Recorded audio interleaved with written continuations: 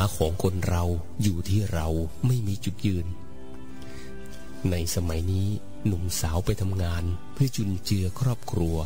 ในต่างถิ่น เช่น ภาคกลาง ภาคตะวันออก ภาคใต้ สิ่งหนึ่งที่ตามมาคือการอยู่ด้วยกันก่อนแต่งงาน แล้วมารบเราขอบิดามารดา จัดการแต่งงานให้เพื่อเอาหน้า หรือเพื่อความมั่นใจของอีกฝ่ายหนึ่ง เราคริสตชนฟังเสียงของพระเจ้า และพระศาสนาจักร คือการตัดสินใจแต่งงานมาจากความรัก ความจริงใจ และตั้งใจจะอยู่ด้วยกันตลอดชีวิตจึงมีการเตรียมตัวเตรียมใจก่อนรับสินสมรส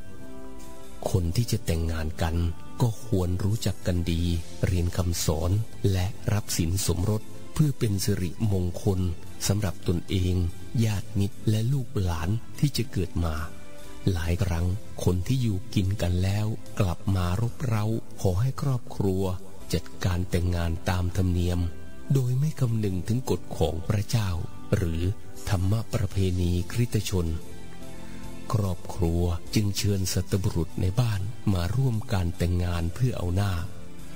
ผู้ที่ไม่ยำเกรงพระเจ้าคิดเช่นนี้ แต่เขาคิดผิด ความชั่วร้ายทำให้เขาตาบอด เขาไม่รู้แผนการของพระเจ้า เขาไม่เชื่อว่าพระเจ้าประทานรางวัล แก่ผู้ที่ดำเนินชีวิตไร้ตำหนิ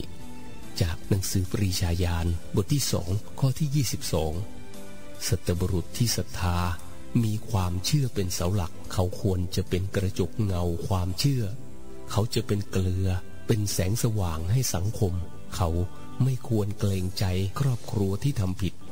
เขาจึงปฏิเสธที่ไปร่วมพิธีแต่งงานเช่นนี้ เพื่อสอนคนอื่นให้เดินทางที่ถูกต้อง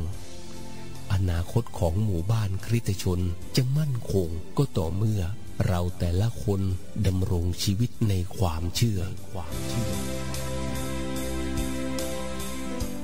พระอัครสังฆราชหลุยจำเนียน สันติสุขนิรันดร์